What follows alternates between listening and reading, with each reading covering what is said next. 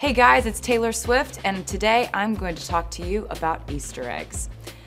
No, not the bunny pastel Easter eggs, although I really do love that aesthetic right now. I'm loving pastels. But um, yeah, Easter eggs that I'm going to talk to you about are the kind of cryptic message sending Easter eggs. Well, trust Taylor Swift to give us inside scoop on the things happening in her love life through her music. Like everyone already knows, Taylor has a reputation for sharing information she would never directly say through her song lyrics. Like how we knew her former boyfriend, Joe Alwyn, was supposedly a cheater and a lying coward through her 11th album, The Tortured Poets Department, despite her not saying anything or making any official statement on their breakup. Joe is definitely not the only guy who has been the inspiration behind several of Taylor's songs. Jake Gyllenhaal, Harry Styles, and Calvin Harris have supposedly inspired songs from previous albums like Red, 1989, and Reputation, where she basically slams them and calls them out for their BS. So, yeah, that is Taylor Swift for you guys. She always has something to say through her songs, whether good or bad. And now that the pop queen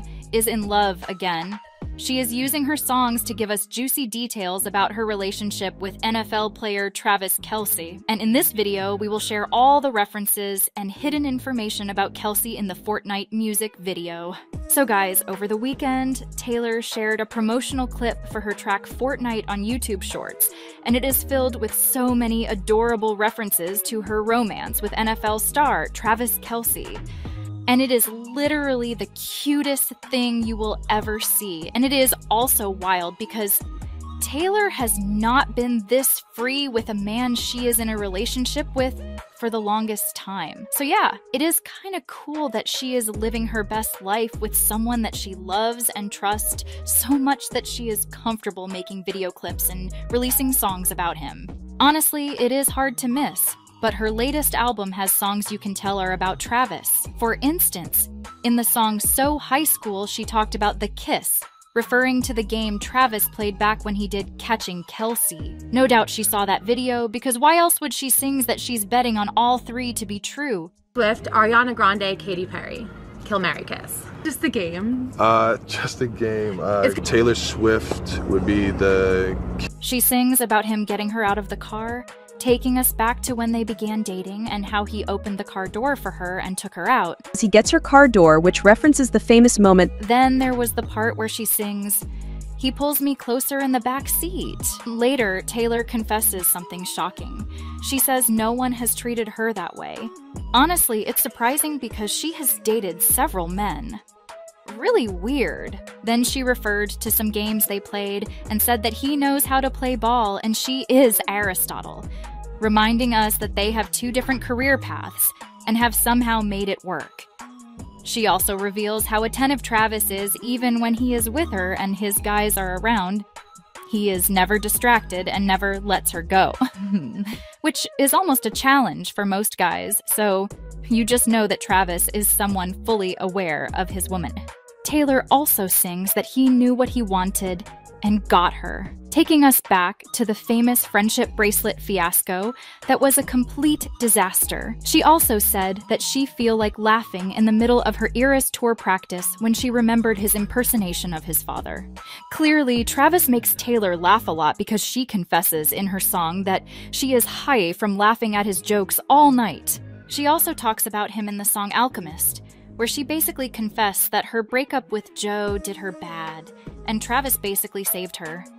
In the song, she then sings that they are on a winning streak and that he jokes that it's heroin, but this time with an E, meaning Travis sees her as his lucky charm that made him win the Super Bowl. Obviously, Tay Tay is madly in love with Travis, and her songs are the biggest reveal of how adorable they are together. On the other hand, there is the 16 second clip meant to like get fans to participate in the hashtag for a Fortnight challenge.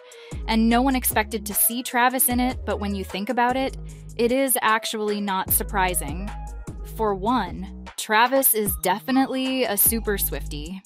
That man had loved Taylor even before he met her. Like, who can forget the bracelet with his number on it that he made her when he was still trying to grab her interest? He has always been super supportive of her career, showing up at her shows, singing along, and not being afraid to be in the spotlight with her. So if Taylor had gone and said, Babe, I need you in my music video, he would definitely jump right up screaming, When and where? Interestingly, some clips in her Fortnight recap starred Kelce directly, but there were also a handful of sweet yet subtle moments where she referenced their relationship. So, yeah, it's kind of interesting how she gives fans full details of some things and lets them try to decode some parts of the video. And then uh, Taylor Swift would be the kiss. And then Katy Perry, what's the last one? Katy Perry.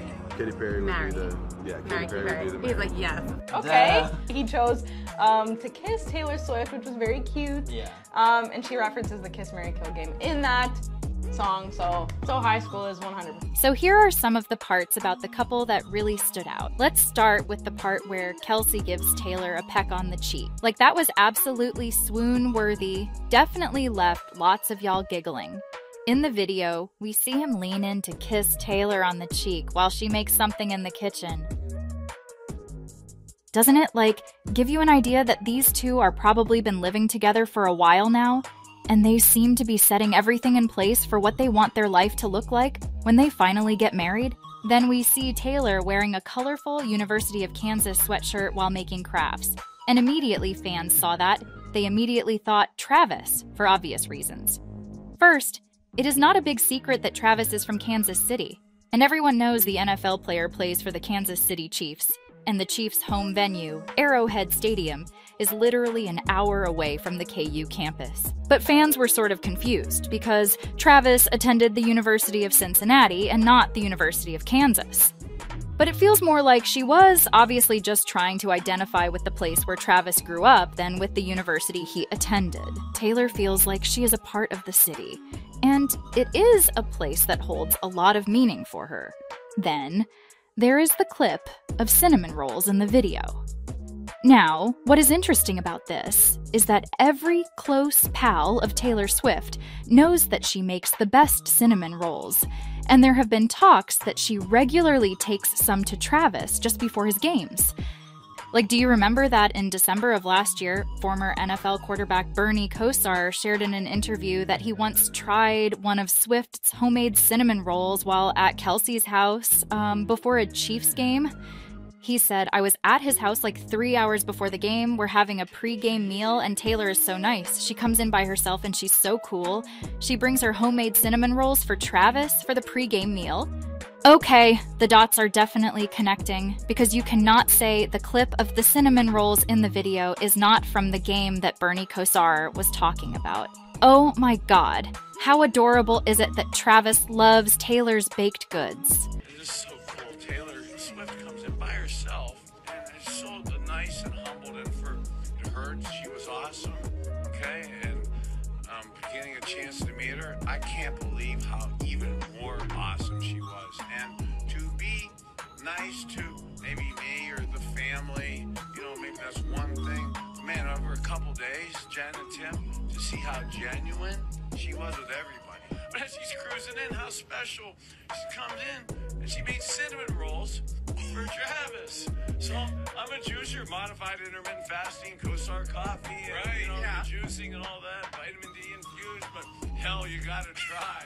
You gotta try a little nibble of a cinnamon roll. Yes, you Taylor did. So, So wait, you didn't say were they good cinnamon rolls? oh, they were awesome. Then enter the night stroll at Singapore's Gardens by the Bay. This feels very special because this year has been a major one for Taylor. She had back to back tours, and they have been the most successful ones of her career. And in March, Taylor played six sold out concerts in Singapore, which was her only Southeast Asian stop on the Eras tour. And of course, Kelce flew hundreds of miles to see her and was spotted in the audience on two nights. And since her man was in the city, it only made sense that they tried to spend quality time together despite her hectic schedule. Apparently, during her downtime, she and her man took a romantic night stroll through the country's famous gardens by the bay, as seen in her video. Not Travis Kelce being in Taylor's For a Fortnight video twice. You guys, it's the cutest thing I've ever seen. I will just always love that she feels so comfortable sharing these things with us and not having to worry about it because it's the sweetest thing. We kind of knew this happened even though we didn't know much details about the entire event. And guess what? It was Travis himself that confessed. On the 31st of March, Travis, on the podcast with his brother, talked about his experience at the gardens and went on and on about how it was one of the most exciting times of his life. He couldn't stop talking about how large the greenhouse was, how huge the trees were, and how impressive the waterfall in the greenhouse was. But we bet the best part of him being there was because he was with the love of his life. And of course, we cannot forget the Kansas City Chiefs pickleball paddle from the video. In one of the clips in the video, Swift was holding a red Kansas City Chiefs pickleball paddle while wearing a white top and lavender shorts. Honestly, Kelce might have been playing for the Chiefs since 2013, but Swift has become his biggest cheerleader, as she is always rooting for him at many of his NFL games. We love that these lovebirds are out and loud about their love life. They appear in control of it and give enough to fans, while keeping the best part private until they are ready to share. But fans, as usual, have been giving their opinions since the video was released. While some are eating it up and absolutely loving it, some see it as doing too much. One fan tweets, Did Travis need to be in any of her project? And another says, This is giving, clout chasing, get it out of my face. Anyways, Travis and Taylor are definitely living their best life, and Taylor remains committed to breaking records after her latest album became the first album in Spotify history to have over 300 million streams in a single day. Not only that, she also successfully smashed records on Apple Music and Amazon Music. How do you think Taylor's music reflects her feelings for Travis? Do you think Travis Kelce's involvement in Taylor's music videos adds to or detracts from her artistic expression? Share your thoughts in the comments below. And if you enjoyed this video, remember to give it a thumbs up and subscribe to Pop Plug. And if you want to watch Travis Kelce speaking on wanting to start a family with Taylor Swift, click on this next video.